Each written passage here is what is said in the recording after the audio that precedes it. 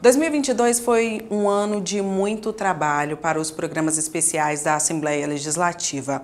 Entre eles está o CAM, o Centro de Apoio aos Municípios. Por isso, preparamos uma reportagem mostrando algumas atividades realizadas pelo centro ao longo desse ano. Confira.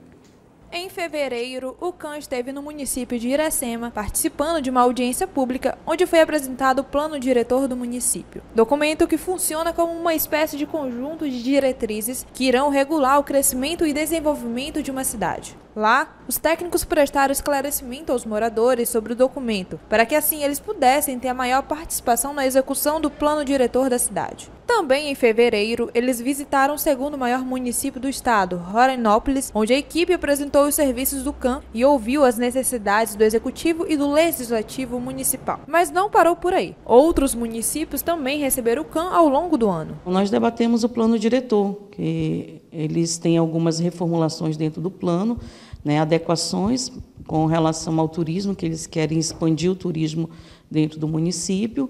E aí nós estudamos a possibilidade de algumas alterações dentro do plano. O trabalho do Centro de Apoio aos Municípios da Assembleia Legislativa de Roraima é oferecer assessoria e apoio jurídico aos poderes executivo e legislativo do interior do estado. O CAN inicialmente ele era o CAC, ele era o Centro de Apoio às Câmaras. Inicialmente ele só dava assessoria técnica às câmaras.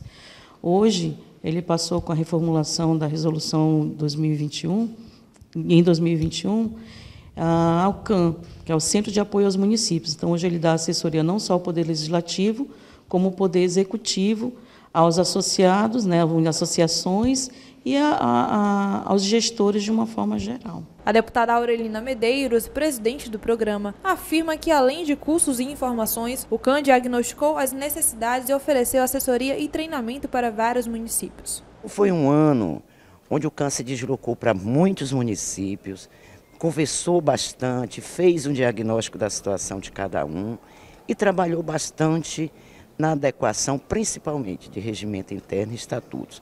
E vários cursos também que foram ofertados, né? para os secretários, para os servidores. Isso tem sido uma atuação constante do CAN.